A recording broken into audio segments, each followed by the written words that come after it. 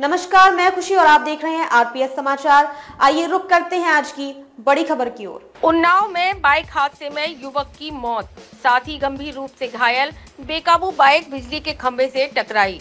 उन्नाव के मोरावा थाना क्षेत्र में देर रात एक युवक दर्दनाक हादसे में एक बाइक सवार युवक की मौत हो गई और उसका साथी गंभीर रूप से घायल हो गया।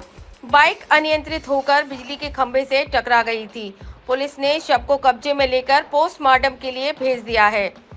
उन्नाव के मोरावा थाना क्षेत्र के हिलौली करदहा मार्ग पर छत्रपाल खेड़ा गाँव के पास देर रात एक बाइक दुर्घटना में 20 वर्षीय नंदकिशोर की मौत हो गई और उसका साथी आशीष गंभीर रूप से घायल हो गया। घटना उस वक्त हुई जब दोनों युवक संदाना से हिलोली स्थित एक ढाबे पर खाना खाने जा रहे थे।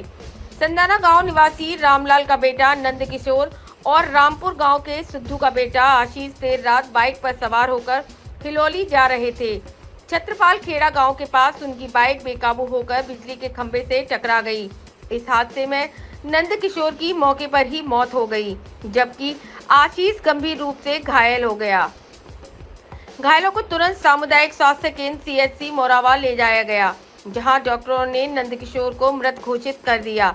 आशीष की गंभीर हालत को देखते हुए उसे जिला अस्पताल रेफर कर दिया गया। मृतक नंदकिशोर चार भाइयों में सबसे छोटा था और उसकी मौत से परिवार में कोहराम मचा हुआ है। उसकी माँ रामलली, पत्नी किरण, पाँच वर्षीय बेटी रिद्धि और भाइयों लक्ष्मण, दीपू, घनश्याम समेत परिवार के अन्य सदस्य शोक में डूबे हुए हैं। खबरों में अब तक के लिए बस इतना ही। फिर होगी आपसे मुलाकात, ऐसी ही एक और बड़ी खबर के साथ। तब तक के लिए नमस्कार और देखते रहिए आरपीएस समाचार। ऐसे ही लेटेस्ट अपडेट्स के लिए हमारे चैनल आरपीएस समाचार को सब्सक्राइब करें और तुरंत नोटिफिकेशन पाने के लिए बेल आइकन प्रेस करना ना भूलें। अगर आपको हमारी खबर पसंद आई हो तो इसे ज़्यादा से ज़्यादा लोगों तक ज़रूर पहुंचाएँ।